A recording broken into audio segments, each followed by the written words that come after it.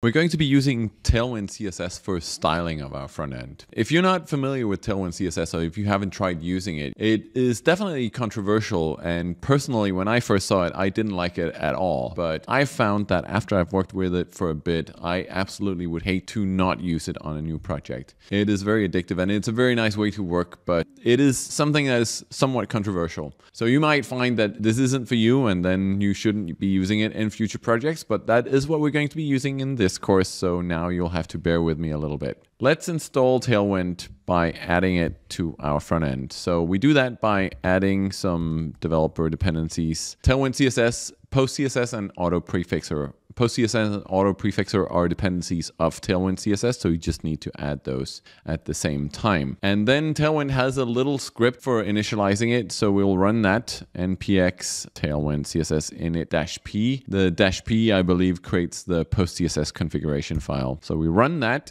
and we now have a PostCSS configuration file and a Tailwind configuration file. Let's open the Tailwind config file. So we want Tailwind to look at all of the files that we create that might have CSS classes in them. So the way it works is that Tailwind will provide a whole bunch of utility classes, and you don't want all of those to be included in your CSS bundle. So what it does is that it scans all of your source code for any string that looks like one of these classes, and if it finds it, it will include it in the bundle. And it's a confusing error situation to have that you are missing one of these classes because Tailwind didn't discover it in your source code. So it's pretty important that you get all the source code included here that you might be adding CSS classes to.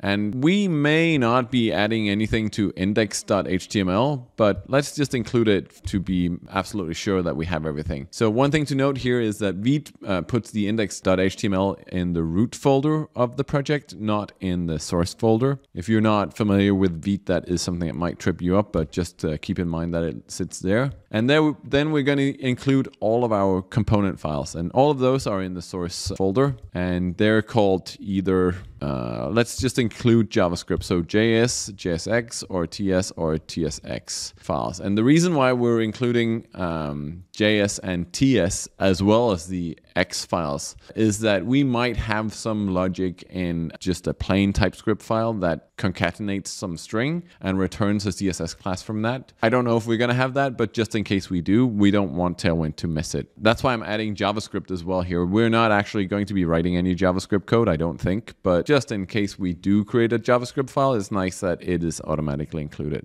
So now that we have that set up, Tailwind should find it. We will then change the index.css file. So this index.css file refers to all of that that we had on uh, this page here, and we're not going to be using any of that. So let's just get rid of all of this and just add the Tailwind directives. And there are three of them, and we'll just add those. Those are just, there are some more, I think, but these are what the basic configuration is. Base, components, and utilities. You can see I get little warnings here. That's just because VS Code doesn't know about Tailwind. I'm not actually sure why that is, but it's a warning that you can safely ignore because PostCSS will pick this up.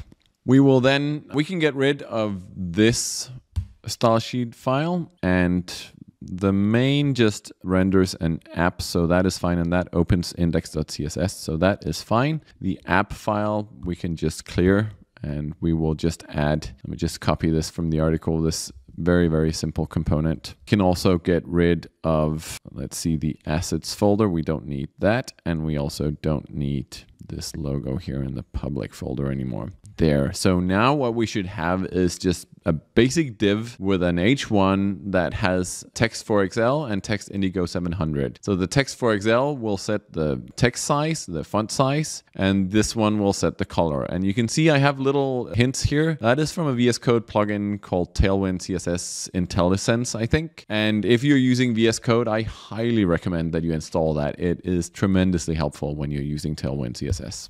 So let's try and run our server again and see if we get a page that now reflects this hello world. That looks indigo to me. Perfect.